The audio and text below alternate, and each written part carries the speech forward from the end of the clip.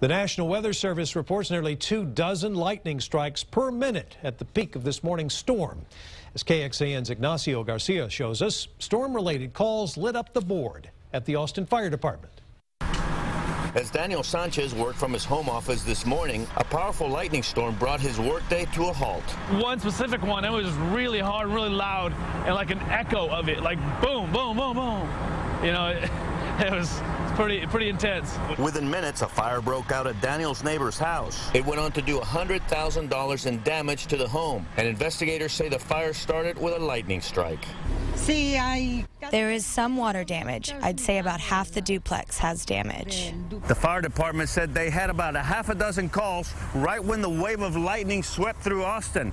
This one here was the one that sustained the most damage. It sounds like they did find, find some heavy uh, scarring and charring up in the attic uh, that's a little more indicative to lightning strike fires. A spokeswoman for Austin Resource Recovery confirms lightning also struck one of their sanitation employees. She says lightning struck the worker indirectly by hitting something he was touching at the time. He's expected to make a full recovery.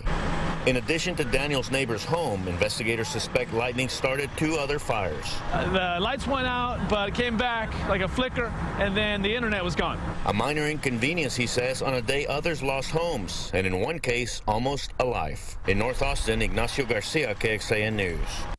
People don't get hit by lightning very often, but there are things you need to know to stay safe. Yeah, the National Weather Service keeps data on people struck by lightning. Lightning killed 23 people in the United States last year. More than 60% of those deaths happened to people taking part in leisure activities.